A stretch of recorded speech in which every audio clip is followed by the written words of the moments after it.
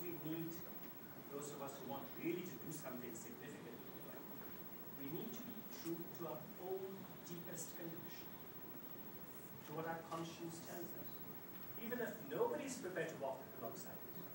You know, Gandhi uh, often used to recite a line which meant a lot to him. And this line was written by a close friend of his whose name many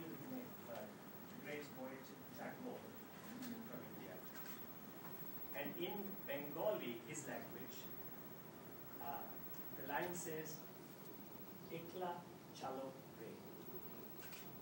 Be ready to walk alone. Yes, live to make the other person great, but if there is